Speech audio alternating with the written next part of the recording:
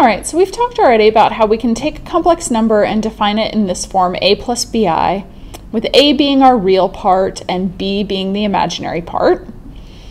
So if b is 0, then our complex number is wholly real.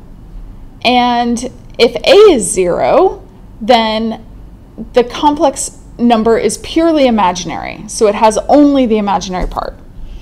When I add and subtract complex numbers, it's just like collecting like terms. So I'm going to take the real components and sum those, and then I'll sum the imaginary components. So the difference would be a minus c plus b minus d i. It really is as easy as that. So now when I add these, 5 plus 4 is 9, negative 2i plus 1i is minus 1i. So there's my new sum.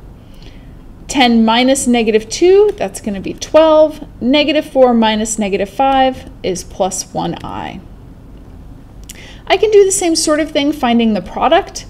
I'm going to use distribution to multiply out so I'll end up with AC plus ADI plus BCI plus BDI squared. Of course, I squared is negative 1, so I can rearrange this to collect my real terms, AC minus BD plus AD plus BC make my imaginary terms. Now, I don't remember this. Instead, when I have a problem, I'll just multiply it out. So this one would be 6i plus 21i squared. Simplifying, this will become my real component, negative 21 plus 6i. 10 plus 20i minus 2i minus 8i squared. So that will be plus 8. 18 plus 18i.